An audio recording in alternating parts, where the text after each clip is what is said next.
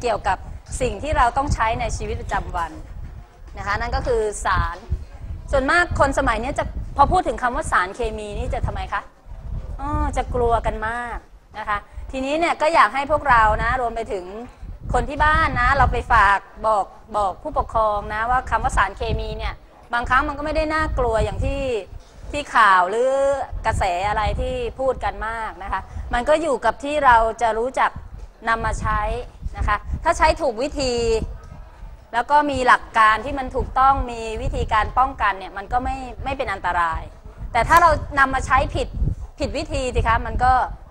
ทำให้มีผลได้ใช่ไหมอย่างปัจจุบันนี้บางคนก็เอาสิ่งที่มันไม่น่าเอามากินได้ก็เอามาใส่ในของกินใช่ไหมคะเพราะฉะนั้นเนี่ยก็ต้องพยายามเลือกสักหน่อยเราเป็นผู้บริโภคก็จะเสียเปรียบนะ เพราะฉะนั้นก็ฝากเอาไว้นะคะ เวลาเลือกซื้อเลือกบริโภคอะไรก็พยายามจะได้หลีกเลี่ยงจากสารเคมีนะคะ ทีนี้ในเรื่องของม .6 ที่เรากำลังเรียนอยู่นี้นั่นก็คือสารประกอบไฮโดรคาร์บอนนะคะที่เมื่อคราวที่แล้วเนี่ยเราได้เรียนกันไปนะคะก็เป็นสารประกอบไฮโดรคาร์บอนประเภทแรก ใช่ไหมก็คือถ้าเราแบ่งโครงสร้างใหญ่ๆ มันจะมีอาริอาริอะไรบ้างคะอ่า aliphatic alicyclic และ aromatic ใช่ไหมอ่าเราเรียนในตัวแรกก็คือ aliphatic aliphatic ก็คือสารประกอบไฮโดรคาร์บอนที่เป็นโซ่เปิดนะคะโซ่เปิดอาจจะเป็นโซ่ตรงอ่าเป็นโซ่กิ่ง หรือที่เป็นอะไรคะอาจจะมีแล้วแต่ว่ามีคาร์บอนอะตอมมากน้อยต่างกัน เดี๋ยววันนี้เราจะมาเรียนอีกประเภทที่สองก็คือสารประกอบที่เป็นอะไรคะ อลิ alicyclic alicyclic คืออะไรคะ คืออะไรคะนักเรียน ฮะอะแบบวงเหรอ ใช่เหรอคะ โซ่ปิด แล้วแบบโซ่ตรงเนี่ย มันนอกจากมีพันธะเดี่ยวแล้วมันยังมีอะไรคะ พันธะคู่กับพันธะสามคราวที่แล้วเราเรียนหรือยัง เรียนไปบ้างแล้วแต่ยังลงไม่ลึกนะคะ เดี๋ยววันนี้เราจะลงรายละเอียด ปีกย่อยให้มันลึกขึ้นนะคะ เดี๋ยวเราไปดูกันที่สไลด์ค่ะ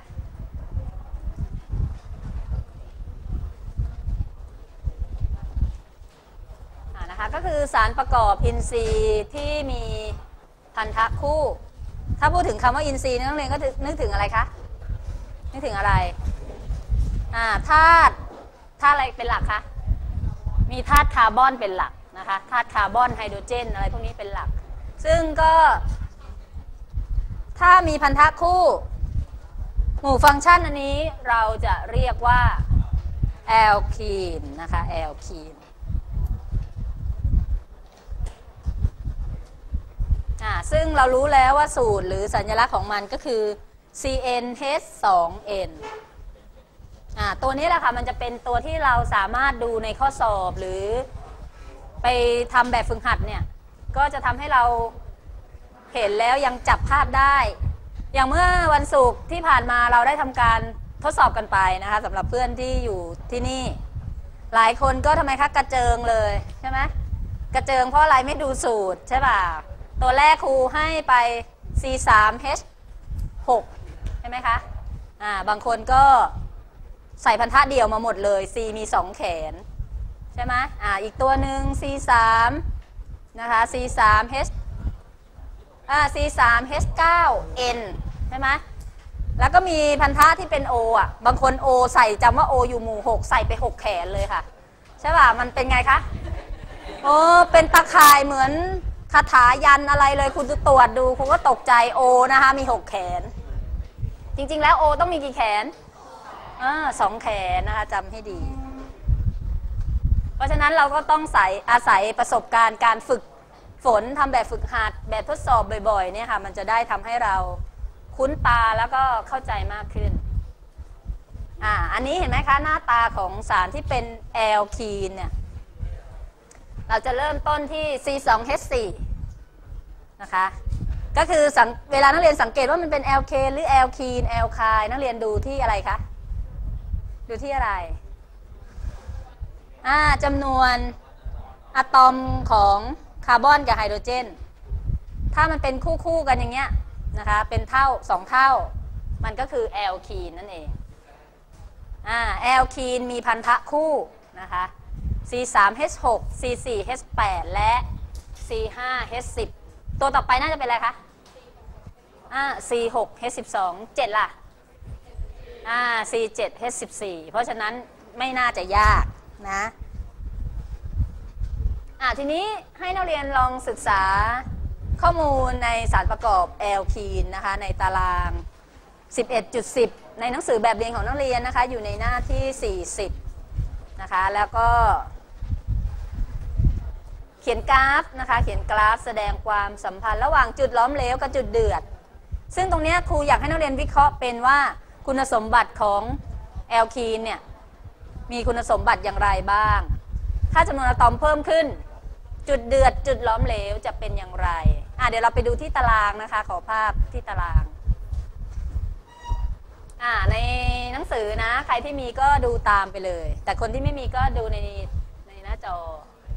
จะเห็นได้ว่าเห็นไหมคะเขาเริ่มต้นตั้งแต่คาร์บอนที่ทำไมไม่เริ่มต้นที่คาร์บอนที่หนึ่งคะตอบได้ไหมเอออะลองช่วยกันคิดสิคะทำไมทำไม สารประกอบแอลคีนทำไมไม่เริ่มต้นคาร์บอนที่หนึ่งอ่าเพราะว่าถ้ามันมีหนึ่งตัวมันจะไปจับเป็นพันธะคู่กับใครล่ะคะ ใช่ไหมอ่ามันก็เลยต้องเริ่มต้นที่ C2 อะตอมนะอ่านี่ก็คือเห็นไหมคะสองสามสี่ห้าหกเจ็ดแปดไปเรื่อยๆ ชื่อเริ่มมาแล้วเห็นไหมคะ หลักการเรียกสองตัวเรียกอีทีนสามตัวเรียกโพพีนลงด้วยอะไรคะเนี่ย อ่าสละอีน ดูที่ตรงนี้ค่ะจุดเดือดกับจุดล้อมเหลวนะคะ ที่ครูต้องการให้พวกเราดู เป็นไงคะแนวโน้ม จุดเดือดจุดล้อมเหลวที่สองสามสี่ห้าหกเจ็ดแปดเป็นไงคะจุดล้อมเหลวสูงหรือต่ำคะเนี่ย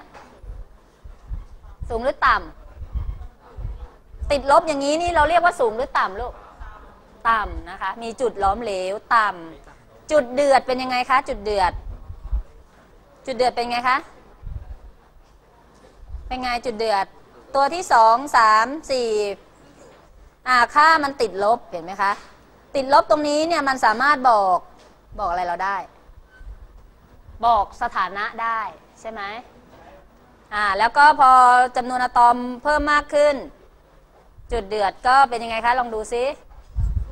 อ่าสูงขึ้นเรื่อยๆนะคะ สูงขึ้นเรื่อยๆ ซึ่งตรงนี้เราพอน่าจะ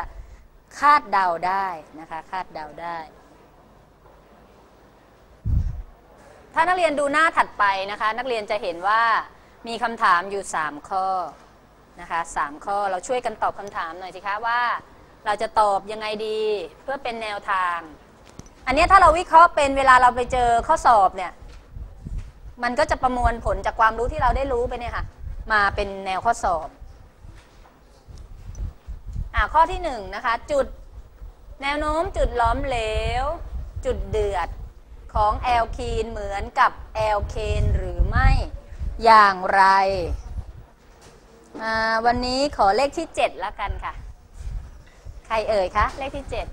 7อะส่งไมค์ให้เพื่อนหน่อยสิคะอะคนอื่นเตรียมตัวไว้นะ วันนี้ครูสุ่มเลขที่เดี๋ยวต่อไปครูจะมีการจับ รางวัลเออจับฉลากนะคะ จับตอบถูกให้ลูกอม1เม็ดดีไหมหรือจะเอาคะแนนดี เอาเป็นคะแนนเนาะห้องนี้งกคะแนนนะคะ อะพร้อมยังคะอะพร้อมแล้วเชิญค่ะ มีจุดหลอมเหลวและจุดเดือดเพิ่มขึ้นเมื่ออะตอมของคาร์บอนมากขึ้น ดูคำถามก่อนนะคะคำถามถามว่าอะไร เนี่ย เวลาตอบดูว่าเขาถามว่าอะไร เขาถามว่าอะไรคะเขาถามว่าเหมือนกับแอลเคนหรือไม่เหมือนใช่กัเปล่าเนี่ยเห็นไหมเราต้องตั้งสติให้ดีเนี่ยครูที่ครูถึงย้ำนักย้ำหนาพวกเราเนี่ยมีความรู้กันทุกคนแหละ แต่เวลาตอบทำไมคะ ถามอย่างตอบอย่างจะได้คะแนนไหมคะ ไม่ได้ เพราะฉะนั้นดูให้ดีนะเขาถามว่าอะไรเขาถามว่ามันเหมือนกับแอลเคนหรือไม่อย่างไรอะพร้อมยังคะ จูนขึ้นพร้อมหรือยัง จูนสมองก่อนเนี่ย พร้อมยังอะพร้อมแล้วเชิญค่ะ แนวโน้มของจุดหลอมเหลวและจุดเดือดของแอลคีนเหมือนกับแอลเคนหรือไม่อย่างไรตอบว่าเหมือนกันคือ